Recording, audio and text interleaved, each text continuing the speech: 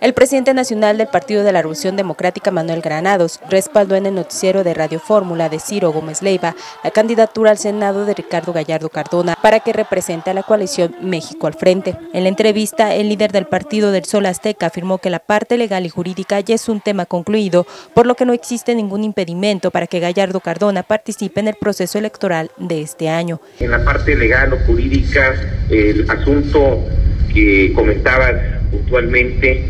eh, está pues ya en un esquema concluido en donde no hay una responsabilidad que se haya comprobado y que eso genera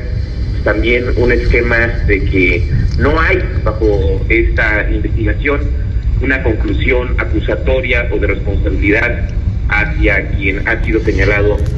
Indicó que el partido estará alerta para que los candidatos que participarán bajo las siglas del PRD no tengan ningún problema legal. Reiteró que en el caso especial del perredista potosino no detecta el PRD ninguna alerta para poder postularlo al Senado. Nuestros candidatos,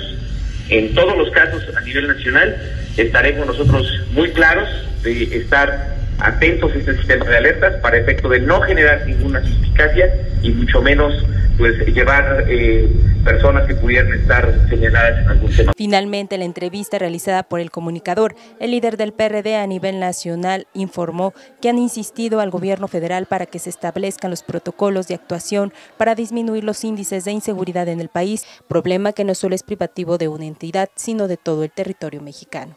CN13 Noticias.